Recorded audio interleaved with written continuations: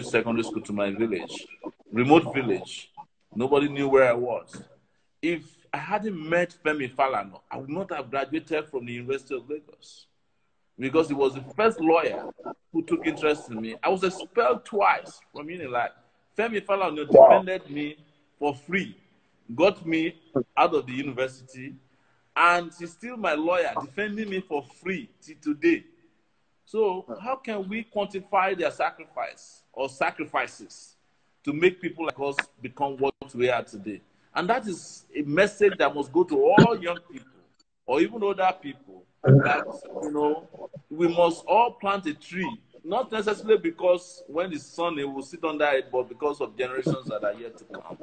So I don't want to compare myself with you know Professor Wole Soyinka, who's a Nobel you know prize winner. I mean, how can you be better than winning the Nobel Prize? And he came to court a few weeks ago to sit in court for four hours because of me, you know. And he said to me after we're done with it, because I can just look at the mirror and see that this is what I used to be when I was your age. Mm. But he asked, he said, Where are all the other young people? What happened to them? Why are they not here with you? Why did they need me to sit in court? If this country were to be all right, I shouldn't find my way to the courtroom. The place should be blocked by other young people. But what is happening today? What's happening to our young people? And we just discussed NANS a while ago. Because, you know, activists, good people don't fall from the sky. You know, their characters are molded by mentors, by circumstances, by variables, and by experience. That is lacking today, sir. So, that, again, yes. Yeah, that is where I was going that do you sometimes feel frustrated that our youth who shout we are suffering, we are hungry, we have hunger virus, we want change, and when it comes to they have the numerical strength to make things happen. Did the Nigerian youth decide that enough is enough? It will happen.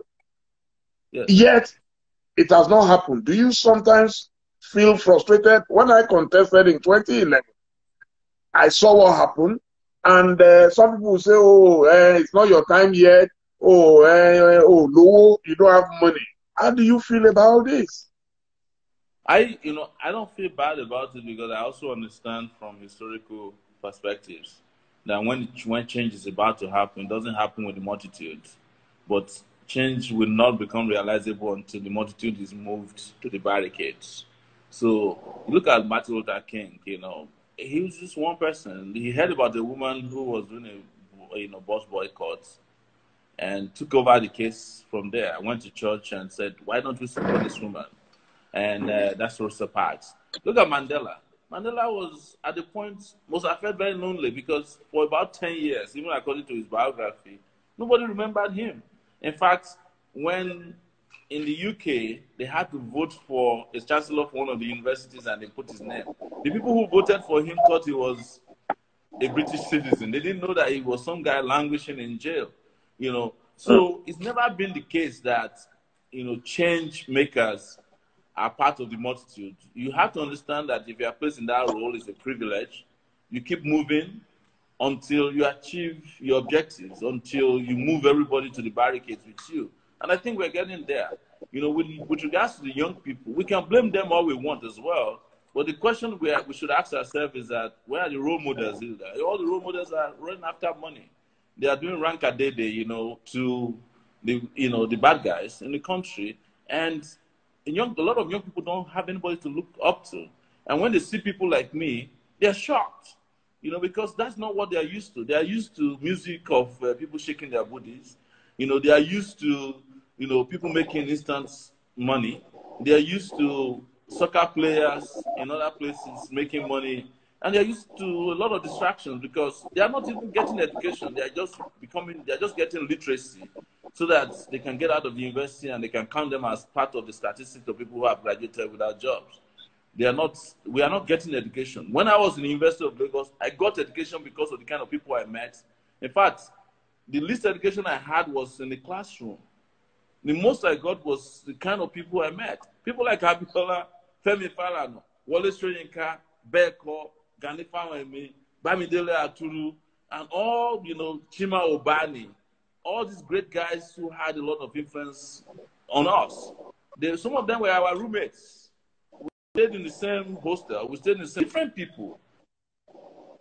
But today, honestly, Bob D, you ask yourself, who are the role models out there today? You know, who is not running after minister? Who is not running after secretary? In fact, a lot of people are aspiring to become the same rotten people in our society that we criticize. We're just waiting in the wings for our own turn to come, what I call lotto mentality. Everybody wants to win that jackpot. They become a governor with 35 uh, or 500 car convoy who is walking around with Boo Boo, Agbada, and you know, making all this money that they can't explain. That's what everybody's aspiring to become. So when you have just a few of us who are doing things differently, we look like strangers. I mean, strangers to the point that, you know, we look so strange, they hate us. They hate our strangeness. You know, that's why they will ask you, why do you cut your hair like that? They didn't ask Lumumba how he cut his hair when he was fighting for independence, or Kwame Nkrumah. He had a different kind of haircut. They said, oh, why do you have cowrie shells around your neck?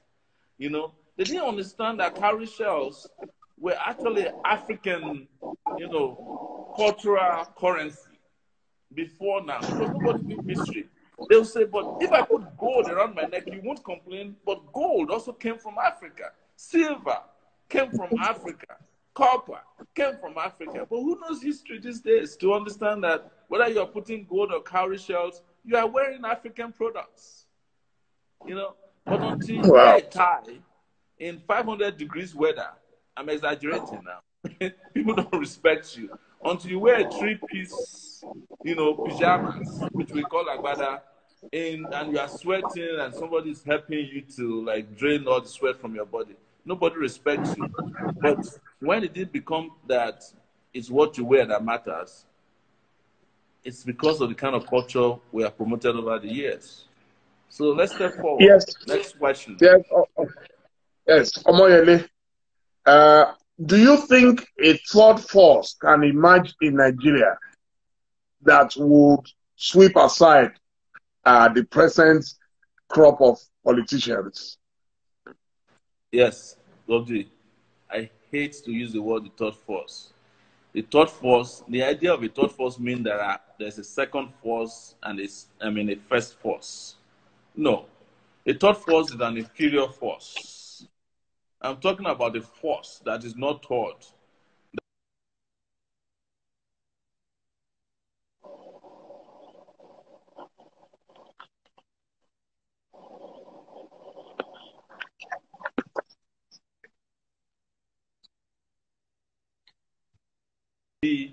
In the third rank. It's just like saying that you want to go and defeat, you know, a first class soccer team with a third class team, right? We can't go to we can't go to this battle with a third force. We have to go with the most powerful force. You know, because we have to be careful about language as well. Because the idea of the third force means that there's a first force and there's a second force. It's just like how third world countries react when they call them third world countries, you know. But in reality, there's not there's no group of countries known as the first world countries or the second world countries. They have other nomenclatures for them. But when they call you a third force, they have already relegated you to a level of performance that cannot win anything. And this is very important. We must also imbibe the proper language that defines how we fight this battle. I hate to use the word third force. In fact, in those days, Bobby, as you used to know, the group known as third force under Babangida were the force who were sabotaging the entire country. They used to call them third force. I don't like the use of the word third force. Why use a third force when we can use the first 11? You, you see, politics is a game of number. Yes. Everywhere in the world. Everywhere in the world. And usually, usually, the top two political parties, if you go to America today, you have the top two political parties. They allow independent candidates, but it has never worked. It has never worked that the independent candidate would win a major election in America. If you go to Britain, maybe occasionally you will have uh, someone like Macron in France who will just emerge out of the blues. So what I'm saying in Nigeria today is that beyond PDP and APC that you have today, how is it possible for someone to come with a smaller party and defeat those two? It's not about a smaller party. You, I, yeah. When you started earlier, you mentioned that if all the young people in Nigeria come together, there's nobody that can defeat them. Is that not correct? You said that earlier. So what you're saying in essence is that the biggest force is not at play yet. And we are saying that these forces can come together. This force, this big force of young people, the number of people in Nigeria that are below the age of 40 constitute almost 60 to 70 percent of Nigeria's population. There's no political party that can boast of that number. None. And we are talking about PDP and APC as if they are a legitimate political party with members. These guys don't have members. They don't have presence. They just have class that they purchase with fraud and bribery and coercion. That is not, those are not political parties. And of these, things you call elections are not elections. The 2019 election cannot be regarded as an election. No matter how we paint it, the truth is that these guys don't run elections. We are talking about people who are aspiring for liberation. And when you want to liberate yourself, political parties are not what you look at. You look at movements. And movements will then become political forces, not parties. You know, you cannot compare the PDP and the APC as political parties that's comparable with the Republican Party or the Democratic Party in the US. Somebody in Nigeria can go to bed tonight being an APC member, they wake up as PDP member tomorrow morning. Is are those political parties? Let's be honest, and this is where the conversation is necessary even with people like you, Bob D, let's start speaking to the truth of our problems. Don't let us call things that are not political parties political parties. You know, if it's a group of gangsters, let's call them gangsters. If it's a group of thieves, let's call them thieves. Why do we start decorating, you know, and beautifying things that are abnormal in our system as political parties? PDP. Who's PDP?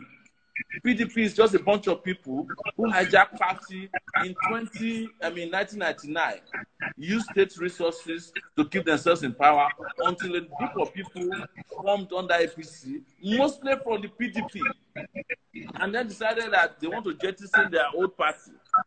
In fact, today you have what we call new PDP, old PDP. Now they're probably going to be an old APC, a new APC. There are a lot of political groups in the country that are just buccaneers. You can't call them political parties, and this is where we are different. We are talking about a movement that is willing to liberate itself and wrestle power from the old system that doesn't work. We have not been able to see political parties in the sense that they are describing them today. Honestly,